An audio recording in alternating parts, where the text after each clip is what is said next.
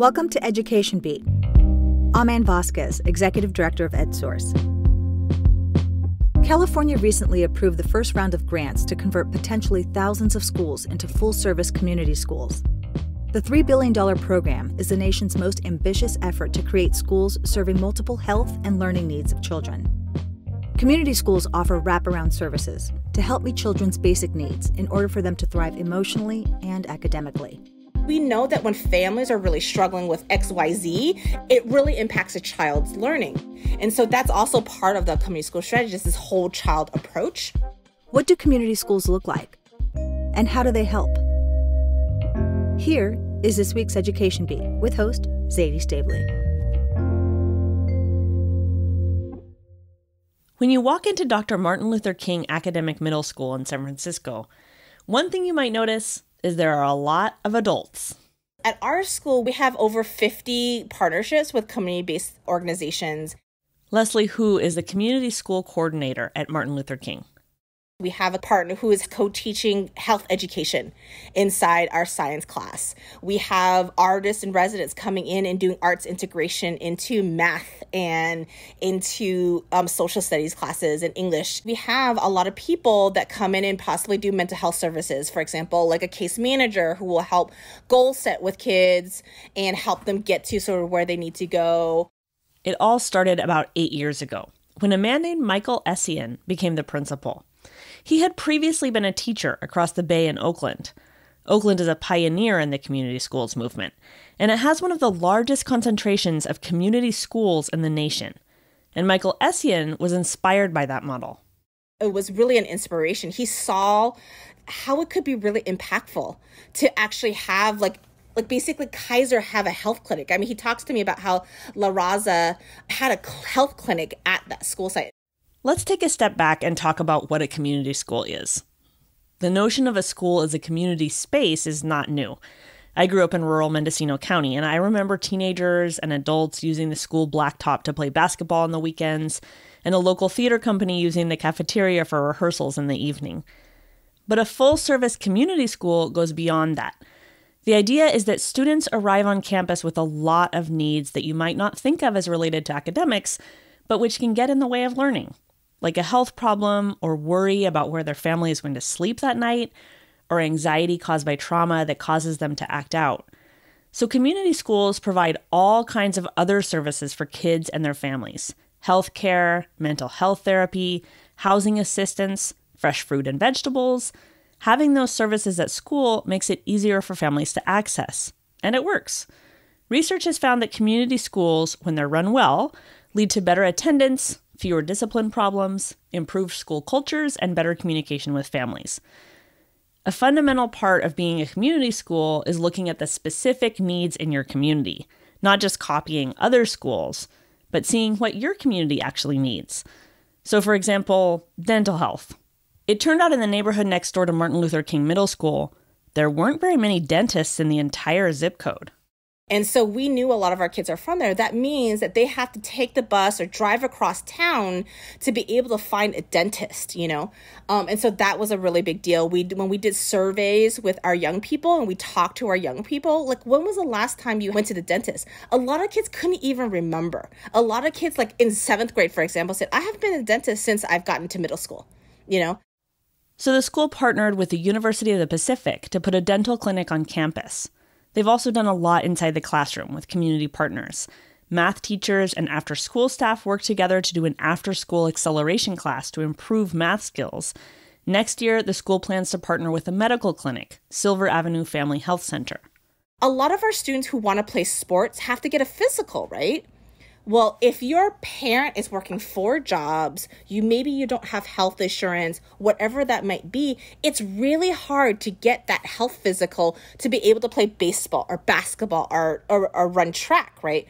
Well, we are going to work really hard to have a health clinic come to our school to provide these physicals for our student athletes so they can participate in sports. But we have schools in San Francisco who could not even pull together a sports team because their students could not get to the doctors to get a physical. These are the kind of problems that community schools have to work towards actually solving. So our young people can access the sports that could be like their the game changer for them right? And so how do we actually solve those problems? And so we were intentionally sought the clinic down the street so that we can actually have a doctor be able to provide those physicals for our young people in order to access sports.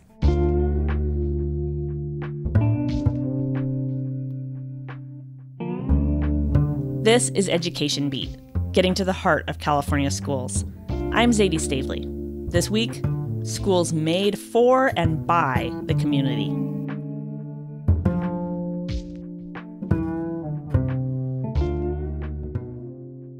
My colleagues John Fensterwald and Ali Tadayon have been covering the new effort in California to expand community schools. I asked Ali to come talk with me about the first round of grants. Hi, Ali. Hi, Zaidee. So tell me about this big news about community schools grants for schools all over California. Yeah, well, this month the State Board of Education approved $635 million in planning and implementation grants for 265 school districts, county offices of education, and charter schools in low income areas to transition to full service community schools. So, of the 265 recipients, 192 are receiving planning grants to begin the process, and then uh, the other 73 are are have already been planning it, and uh, they are getting five year implementation grants, and that covers 444 schools, and the amounts range from about 700,000 to 2.4 million. Oakland Unified will be the biggest recipient, with $66 million to expand and supplement its community school network. Los Angeles Unified and San Francisco Unified are also big recipients, and some small rural districts like Wheatland Union High School District near Yuba City and Sanger Unified in Fresno County will receive planning or implementation grants to start up community schools for the first time. A lot of districts didn't apply this round, though, Maybe that's because this year has been so crazy with staff shortages, student absences, and COVID challenges. More than two thirds of the planning and implementation funding has yet to be spent. Ali visited a community school in West Contra Costa Unified. So, you visited Helms Middle School in San Pablo in West Contra Costa Unified. What did what did you see there? Well, when I went to the Helms campus, students were in class at the time, but outside of the campus there was a Contra Costa County Health Services mobile dental clinic. Uh, it was an RV parked out front. And the principal and community schools director took me to one of the classrooms where they do a lot of the community schools work, um, where a lot of the services are offered.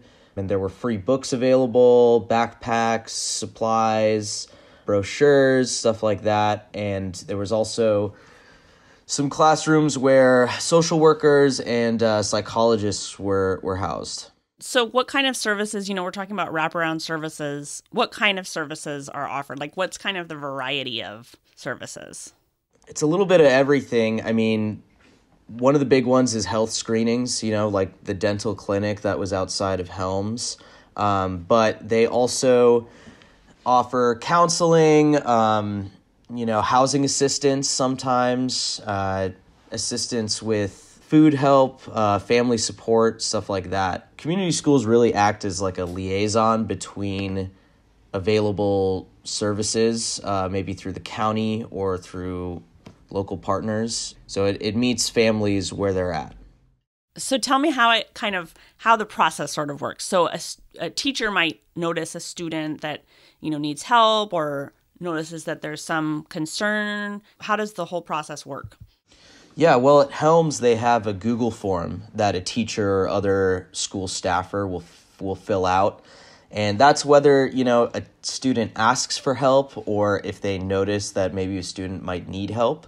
Uh, so they'll fill out the Google form, uh, and then they call that a referral, and then the community schools director will read that and then see what what services they can provide that student or who they can put them in touch with. And this year at Helms, they had 192 referrals, which they said is pretty high. Uh, and they chalked that up a lot to the pandemic and students maybe needing some mental health support. you know, coming out of this tough time.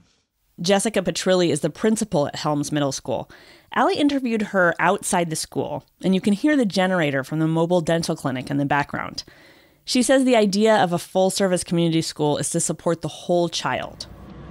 We get a brand new student, and the student clearly needs a bus pass or like clearly needs some basic needs met before they even start class. Like we have a whole, oh, you're gonna see Joyce, and then Joyce can see if he needs also a backpack, and she has backpacks in her room from donations, and oh, you know, do you need a hygiene kit? Do you need this? And then and then it's like, oh, that taps her to be like, oh, I'll have the social worker check with them too and just see how he's doing mentally. But a community school also supports parents. And we say, you know, would you like to work with our social worker as a parent? Because it sounds like you're kind of going through a lot too. And usually they're like, please, you know, if you have a lot of children and you're a single parent and you're doing the best you can and you're getting these calls from school every day that your kid is acting out and it can be really overwhelming and you can feel really isolating and we're trying to say hey we're here with you like we're partners Jessica says 100% of students at her school qualify for free and reduced price lunch. They also have a lot of newcomers, students who recently arrived from another country. Students are just dealing with a lot in their lives. Some are coming every day and, and getting through, and some you can see them falling apart right in front of you. And it's like a community school is the dream because then it's like not just on the teacher to figure out everything, you know, because teachers do their best in any school to be all the things, but this just gives them added support and guidance, you know, because at a school like ours, it, it could be a lot more of your students than maybe another school. Leslie Hu from MLK Middle School in San Francisco says listening to students and families about their needs is crucial. She's seen it in other schools too, like Buena Vista Horace Mann, a K through 8 school in San Francisco's Mission District. They did a lot of talking to their families and partnering with them about like what are the issues that are really um, impacting them. Because we know that when families are really struggling with xyz it really impacts a child's learning. And so that's also part of the community school strategy is this whole child approach one of the things they found at that school was a lot of their families were experiencing transitions and housing insecurities. And so they they found that that was a really big issue that was impacting the the child's ability to be in class and to learn and grow.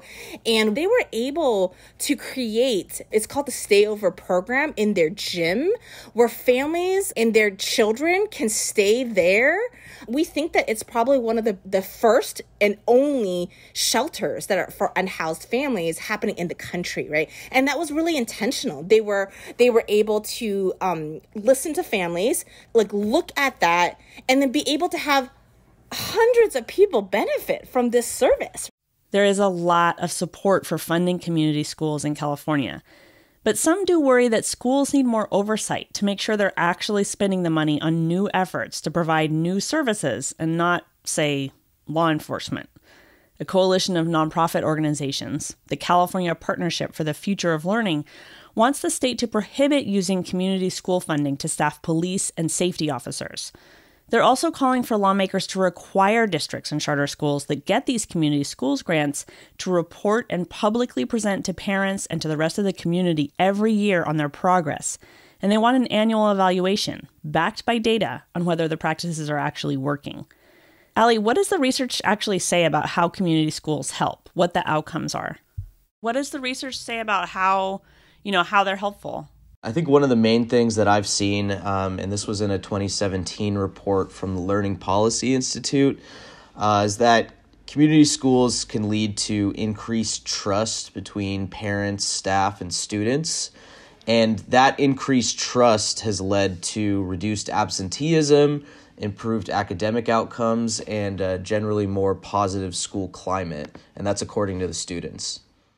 Leslie Hu says Martin Luther King Jr. Middle School saw a huge decrease in suspensions since they became a community school, and better scores on academic tests, too we actually have seen like actual data that has indicated to us that that young people are thriving and growing in ways that we have not seen um, before becoming a community school.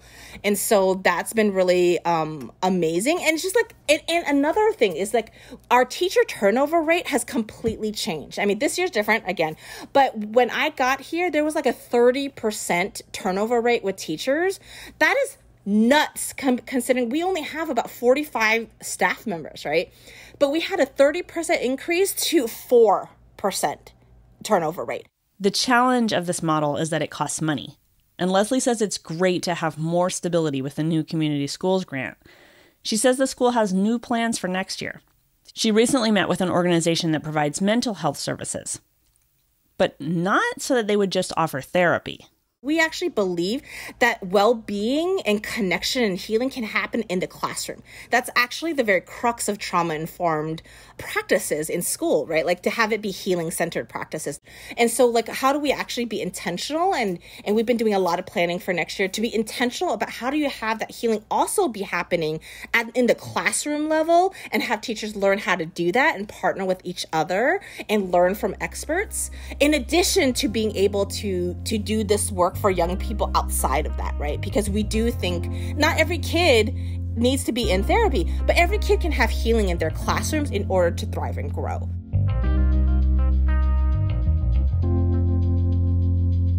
Thank you for listening to this week's episode of Education Beat, getting to the heart of California schools, a production of EdSource. You can find our stories about community schools at edsource.org.